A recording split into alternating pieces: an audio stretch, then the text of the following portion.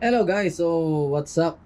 Welcome back sa aking YouTube channel. So, sa video ito guys, papakita ko lang sa inyo paano magkabit ng shifter cable sa isang combo shifter. Ayan. So, ang kakailanganin lang natin ay maliit na screw driver. So, tatanggalin lang natin itong dalawang screw na to, yung cover ng ating combo shifter. Shimano nga pala to guys, 7 speed. Yan. Dalawang tornilyo lang guys yan. Lilitaw na kaluluwa niyan. So yan. So di ba lumitaw na kaluluwa? Then kukuha tayo syempre ng shifter. Kunin natin yan. Pero mas maganda sana guys kung grasahan nyo muna to. Ayan, para matagal-tagal nyo magagamit. Tapos, shoot lang natin na dito guys.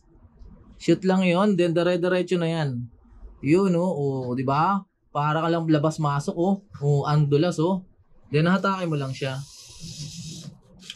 Tapos guys, meron pa to hindi pa tapos. Napapansin nyo, ayan oh, hindi siya naglapat. Ayan, so ito yung gagamitin natin para lumapat. Iaangat natin yan, tapos hahatakin. So yun, shoot. Tingnan nyo, oh, hindi siya nalalaglag.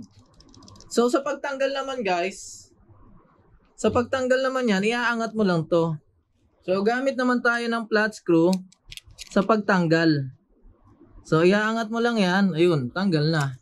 So ganun lang ang pagkabit at pagbaklas ng wire sa ating combo shifter. Yan, baka magalaw nyo itong spring. Then, pag nakabit na natin yung guys, babalik na natin yung cover ng ating combo shifter. So, ganun lang kadali ang ating pagpalit or pagtanggal ng cable wire sa ating combo shifter. So, hanggang dyan na lang guys. Maraming salamat sa panonood. Don't forget to subscribe.